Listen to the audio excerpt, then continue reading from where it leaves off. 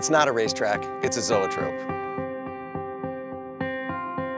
Back in the 1800s, a British mathematician arranged hand-drawn pictures on strips of paper inside a cylinder.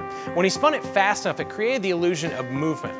They call it a zoetrope, and it's the earliest form of movies and animation. Now let's see if we can take those principles and use them to bring the realistic sense of speed in Forza Motorsport 5 to life by turning that racetrack into the world's fastest zoetrope. Well, zoetrope is a great analogy that allows us to show what it's like to be on a real track high performance, high speed, danger, excitement.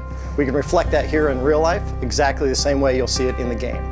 Yes, this is the world's fastest zoetrope. You have to achieve 120 miles an hour in some stretches, 80 miles an hour in another, and 100 in other zones. Basically, we're equaling the speed of the frames per second to the frames that we're driving by per second. And as long as those two things line up at the speed we're driving in, it syncs up and works.